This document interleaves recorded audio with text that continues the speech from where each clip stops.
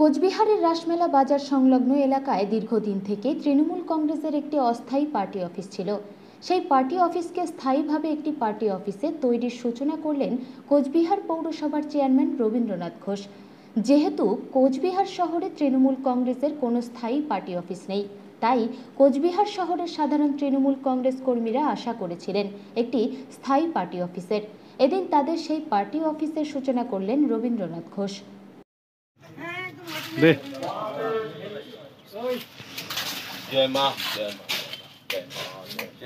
জয় মা জয় মা এই জোগাড় কোটায়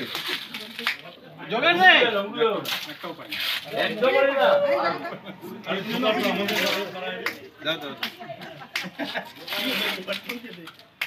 এই জন্য সোনামণি দরকার রে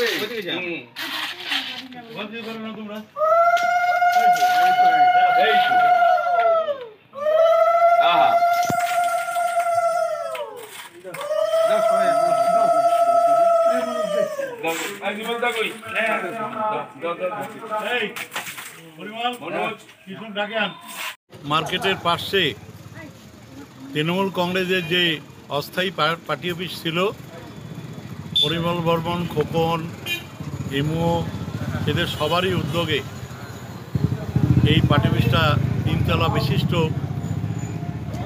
একটা পার্টি অফিস করার জন্য আজকে তার শিলান্যাস করা হলো।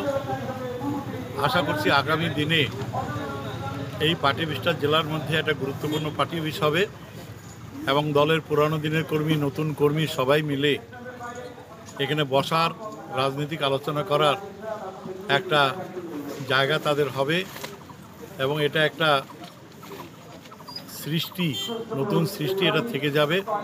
তৃণমূল কংগ্রেসের কুচবিহার শহরে নিজস্ব কোনো দলীয় অফিস নাই। এইটাই তৃণমূল কংগ্রেসের দলীয় অফিসের হিসাবে হবে। প্রথম অফিসটা হবে তৃণমূল কংগ্রেসের নিজস্ব অফিস।